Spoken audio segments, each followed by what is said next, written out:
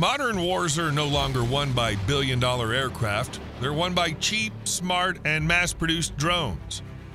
They don't lose pilots, don't require lengthy training, and destroy targets faster than the enemy can even figure out what's going on. And if the U.S. is indeed developing a next generation combat drone, it'll almost certainly be at Northrop Grumman, the same company that created the B 2 Spirit and B 21 Raider, machines that changed the rules of aerial warfare. The new YFQ 48 project is not a one off weapon of technological superiority, but a mass produced and expendable instrument of war, designed for autonomous action and inevitable losses. So here's the big question Can Northrop find the right balance between price, autonomy, and real world combat effectiveness? The war of the future is increasingly reminiscent of the aerial duels of the 20th century and is shifting toward a competition of systems in which the winner is not the one whose aircraft is faster or whose pilot is more experienced, but the one who's able to identify the enemy faster, competently distribute tasks, and maintain combat effectiveness even in the face of losses. For this reason, drones have long ceased to be an auxiliary element, becoming a key element of combat aviation, and the U.S. Air Force and Navy are investing increasingly more effort and American taxpayer funds in their development. But today we're not talking about the usual reconnaissance or attack drones capable of hovering for hours over an operational area. A new class of UAV is being developed for a completely different environment a zone of intense countermeasures, electronic warfare, deeply layered air defense, and to counter enemies whose technology generations are comparable to those of the United States. In such an environment, even the most advanced manned aircraft, while still a vital component of air combat, are still too valuable to risk. This is where the concept of human machine collaboration emerges, where the drone doesn't replace the pilot but merely expands his capabilities, acting as sensor nodes, weapons carriers, jammers, and expendable elements of the combat formation. This idea has long existed in the pages of books and theories of varying degrees of insanity. But over the past decade, it's managed to organically fit into the official doctrine of the U.S. Armed Forces. In fact, America took the first serious steps towards an unmanned future back in the early 2000s. However, in those years, UAVs were primarily considered for reconnaissance and precision strikes in low intensity conflicts.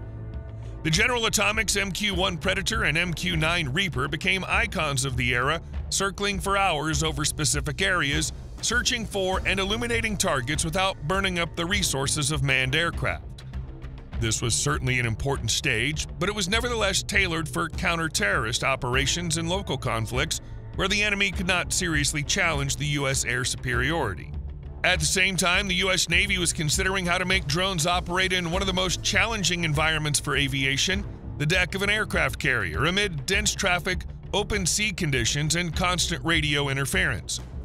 Northrop Grumman helped them solve this dilemma with its X 47B, leaving a mark on history as part of the Unmanned Combat Air System Demonstrator UCAS D program, proving that the impossible is possible right down to landing with arresting gear. The turning point came towards the end of the 2010s when the Pentagon increasingly began to mention conflicts with peer adversaries. China and Russia were actively developing their own air defense systems, electronic warfare assets, and fighter aircraft, making potential conventional operations against them increasingly risky. In response, the U.S. Air Force began to explore ways to maintain the initiative without exponentially increasing costs. Thus, the Skyborg program emerged, not as a specific device, but as a well thought out architecture. Its goal was to create an autonomous brain center capable of controlling multiple UAVs in conjunction with manned fighter jets. In fact, it was the Skyborg that became the next step on the path to collaborative combat aircraft, CCA, inextricably linked with the NGAD fighter and mentioned in literally every article or video about it. But CCA is no longer an experiment, but a highly practical program aimed at the widespread introduction of semi autonomous combat drones into U.S. aviation in the 2030s. The key word here is collaborative, as the drones will not simply perform assigned missions, but also interact with pilots, instantly adapting to battlefield conditions. Drones solve several important problems for aviation in any country in the world. Scalability. They can be used in groups, distributing functions. Survivability. The loss of an individual device does not mean mission failure. Flexibility. The same drone can perform completely different roles. reducing the risk to the pilot.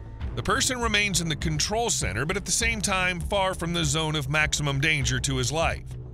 All of these points are particularly important for the U.S. Navy. After all, the vast distances of the Pacific region, the limited number of aircraft carriers, and the high cost of carrier based aircraft made the loyal wingman concept for UAVs practically inevitable. Meanwhile, the U.S. Air Force was running into the arithmetic of a major war. Expensive aircraft couldn't be multiplied as quickly as desired, much less trained pilots for them. Therefore, the service also conceived the idea of affordable mass production, which envisions a multitude of aircraft smart and useful enough to augment manned aircraft, but inexpensive enough that their loss wouldn't undermine the overall strategy. Northrop Grumman, which donated one of the most effective unmanned reconnaissance aircraft, the RQ 4 Global Hawk, to the U.S. Air Force and NATO Air Forces in the 2000s, volunteered to help them with this issue. However, the RQ 4's success quickly revealed its limitations. It was vulnerable to advanced air defenses, dependent on stable communications channels, and virtually useless in a rapidly changing combat environment. When the American services realized that future conflicts would take place not over weakly defended regions, but in the range of modern air defense systems and electronic warfare systems, the concept of a high altitude observer was no longer sufficient. The X 47B, while never mass produced, changed the landscape of what combat UAVs were capable of. Autonomous takeoffs and landings on aircraft carriers, integration into deck operations, and complex human interaction scenarios all of this laid a solid foundation for the next generation of projects. Most importantly, the company gained experience in creating an unmanned platform capable of operating independently in the harshest conditions rather than simply performing tasks remotely. So when Northrop and their subsidiary Scaled Composites announced the development of a new combat drone, the YFQ-48, also known as the Talon, experts were waiting with bated breath for details. In reality, the YFQ-48 was the result of Northrop's failure in the first phase of the U.S. Air Force's CCA development program, Increment 1. The company presented a project that proved larger and more expensive than its competitors, the General Atomics YFQ-42 and Anduril YFQ-44, which were selected for further development under Engineering and Manufacturing Development, EMD. However, at the time, it was still known as Project Lotos. After a minor rebranding and a significant redesign, Project Talon became significantly smaller, simpler, and cheaper, shedding 50% of its parts and 1,000 pounds compared to the original design. This was made possible by the extensive use of composite materials in the drone's construction, which not only reduced its weight but also reduced assembly time by approximately 30%. For convenience, all CCA program applicants have received the general designation YFQ, where Y stands for prototype, F for fighter, and Q signifies drone. This indexation at least hints at the fact that they're viewed not as auxiliary platforms, but as full fledged participants in air combat, albeit in a slightly different role than classic manned aircraft. Northrop and Scaled Composites were able to get the Talon ready with great speed, with the project taking about 15 months from authorization to weight on wheel status against an already ambitious target of less than 24 months. The point here isn't so much about speed, but rather the meta design of making combat drones that can be built quickly and scaled just as quickly. For now, Northrop is avoiding any details about the UAV's engine, operational range, payload, altitude ceiling, or cost. However, photos and details snatched from various events allow us to at least describe the outer shell of this drone's iron core. The YFQ 48A features a lambda shaped wing, a V tail, a trapezoidal air intake on the upper fuselage, and a shovel shaped nose. It also features a vertical stabilizer running along the nose, and panels with serrated and trapezoidal edges are visible around the perimeter of the aircraft. Nestled between the tailplane is a round, semi recessed exhaust for the single turbofan engine, and the drone itself, like most other Northrop projects, was designed with a strong emphasis on stealth, especially from the critical forward angle. The bottom is not flat and features a large panel with jagged edges that'll almost certainly end up as a weapons bay though the company hasn't officially announced this feature yet. Three air quality probes protrude from the nose, which is quite typical for this configuration at this stage of development. Three small domed antennas dot the aircraft's forward upper fuselage and another atop the intake, as well as what appear to be four canted vertical aerials. Also visible are widely spaced single wheel landing gear under the wing, which retract into the UAV, and a small opening that could house a camera for flight testing and general navigational purposes. Northrop itself claims the landing gear was borrowed from an existing aircraft design, but declined to specify which aircraft it was referring to. The team responsible for the YFQ 48A stated that Project Talon is cheaper and better than its predecessor, Lotos, in every respect, and significantly different from the company's proposal during the CCA Increment 1 selection. Although in its current form, this promising drone is not yet fully adapted to perform specific tasks, it was designed for use in a variety of modes adapting to customer requirements.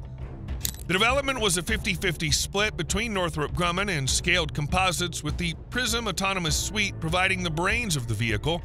The YFQ 48's maiden flight is planned for this year, but the team is not yet sharing details about where and when exactly it'll take place. One thing's certain the CCA program is well underway and Increment 2 is in full swing, meaning that when the sixth generation fighters and new stealth bombers enter service with the American forces, they will already have the worthy support of a thousand new drones from various teams ready to carry out any mission. Do you think Northrop Grumman's ambitions can be packaged into a cost effective yet powerful drone? Let us know in the comments below. And if you enjoyed the video, please leave a like, subscribe to the channel, and hit that notification bell for more content like today's. Thanks for watching, and we'll see you in the next one.